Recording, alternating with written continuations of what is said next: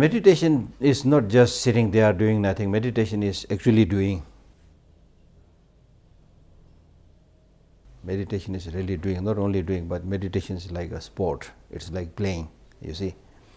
Playing, normally people think, oh, playing is not working, but you need so much effort when you, when you play.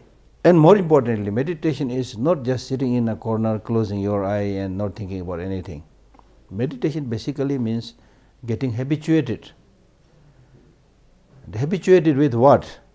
Not with the negative emotions, because there we are already habituated. So, habituated basically means getting the mind habituated with the positive ways of life, positive ways of thinking. So, therefore, the, the, the, the idea of meditation is really not just found in Buddhism. Even if you look at some of the works of Aristotle, Plato, and they, they have clearly mentioned that you become what you repeatedly do. So, meditation means something that you repeatedly do and you become what you repeatedly do. And now, this is very clearly proved in today's modern science that uh, the, the, the number of in terms of the number of brain cells you know the, the young children and the grown up men just in terms of the number of cells there is not much difference. The difference is in terms of connection how much connection you have made.